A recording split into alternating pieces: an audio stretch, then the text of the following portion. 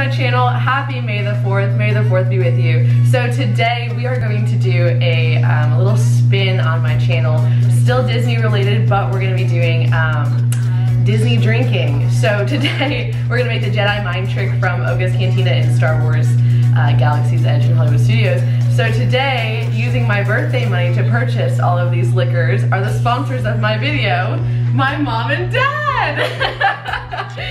so for those of you who have not been to Oga's Cantina in Galaxy's Edge, it's themed after the Jedi bar that's in the Star Wars movies. It is another Star Wars themed bar in Galaxy's Edge. Black Spire Out- Outpost. So when I is was saying it's themed after all those bars that I was listing off, Yes.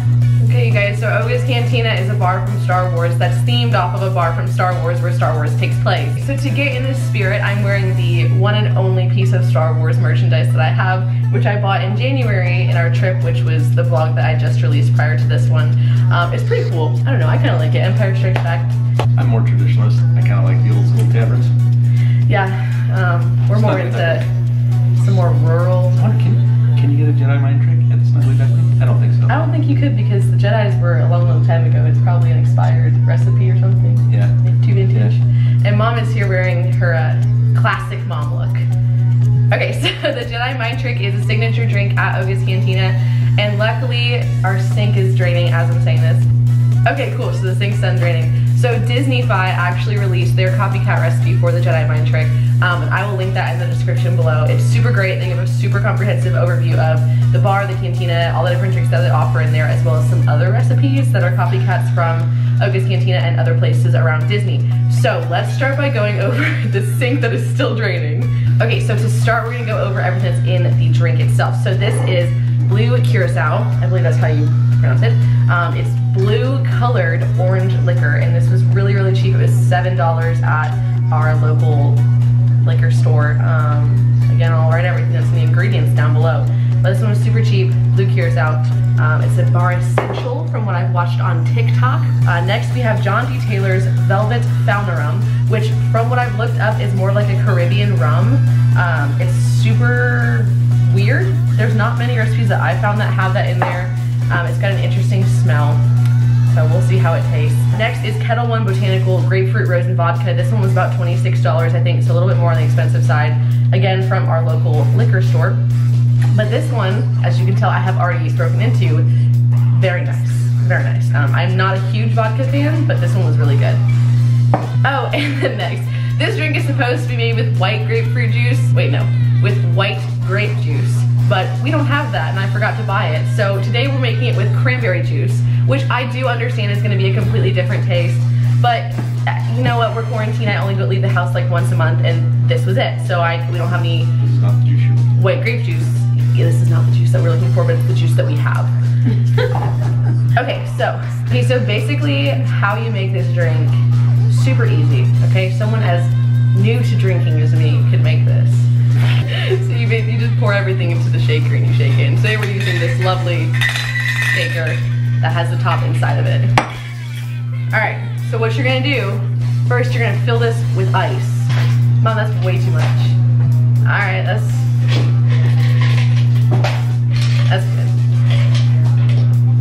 now this is filled literally to the top with ice. Um, so the first thing we're gonna add is one ounce of rose and grapefruit vodka. So this the Ketel One again, twenty six dollars ish a bottle. Um, super great. So we're gonna go in. big- That's one and a half. We're gonna go in with. Are you serious? Yeah, one and, that's okay.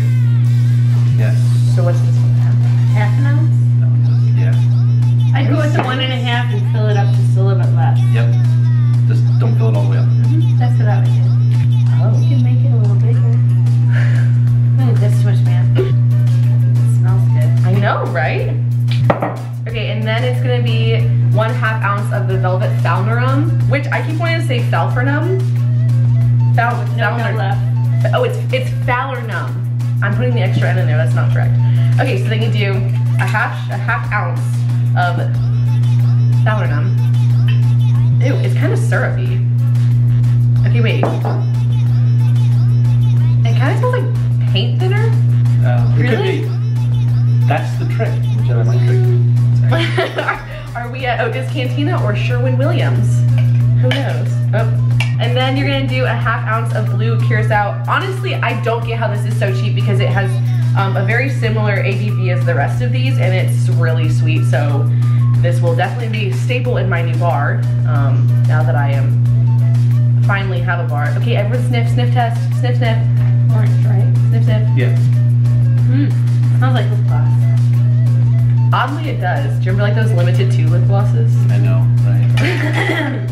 Okay, so here's where we come in with with the, with the trick, the twist. Okay, the cranberry juice instead of the grape juice. And I get it, I get it. Don't come at me in the comments, all of my 10 followers. It's not the juice you're looking for. Um, but you know what? It's gonna work. We're gonna make it work. Okay, so How much? we're gonna do two ounces of this. So we're just gonna do one of the one and a half ounces. One of the one and a half ounces and then one of the half ounces. And guess what that equals to? Yay! Oh, God, it's so. I'm gonna set this down. Yay, family! There's the one. Flip it for the two. Okay. And then, when I check our good old recipe, because this is very complicated, we mix it, right? See this form? Serve on ice in a martini glass Okay. or a whiskey glass. No. We're doing martini glass. It says serve on ice. Can we get, can we get like one ice? Two ices. We're going all out for you tonight, honey. All right. Oh my God. Get our martini glass. Give it a good old pour. Oh. Okay, so at Oga's Cantina and online, this is um, like a light blue, as you would assume from using white grape juice. Um, but ours is, I kind of like this color It's very better. pretty. I like it. I'm really kind of digging this like midnight blue. Okay, taste test, ready? Is it the drink you were looking for? Okay, that's really good. I think you might have turned this into No, it's really good. a Jedi Cosmo. Yeah, no, it's good.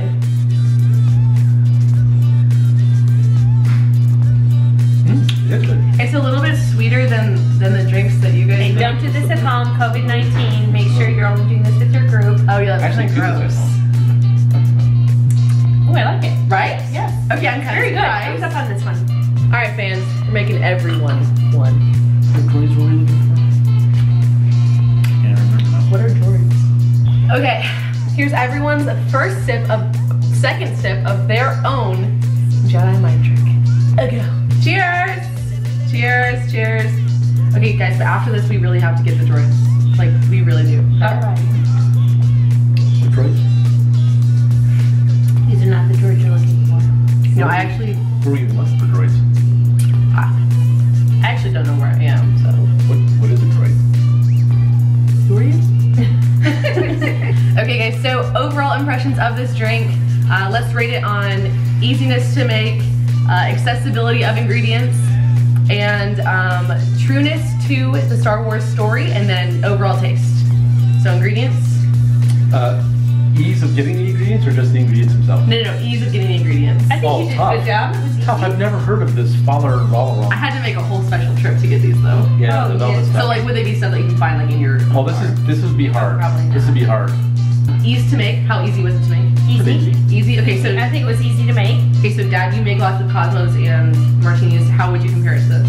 It's just a little little fussier, right? Because you got four ingredients in this one.